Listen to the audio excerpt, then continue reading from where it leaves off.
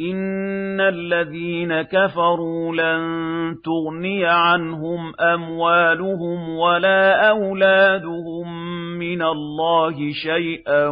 وَأُولَٰئِكَ أَصْحَابُ النَّارِ هُمْ فِيهَا خَالِدُونَ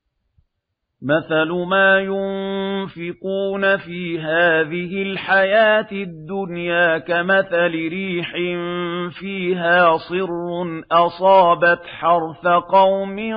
ظَلَمُوا أَنفُسَهُمْ فَأَهْلَكَتْهُ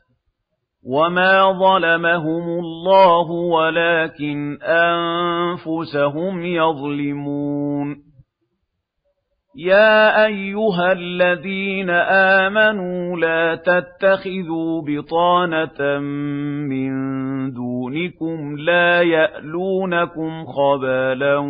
وَدُّوا مَا عَنِتُّمْ قَدْ بَدَتِ الْبَغْضَاءُ مِنْ أَفْوَاهِهِمْ وَمَا تُخْفِي صُدُورُهُمْ أَكْبَرُ قَدْ بَيَّنَّا لَكُمُ الْآيَاتِ إِن كُنتُمْ تَعْقِلُونَ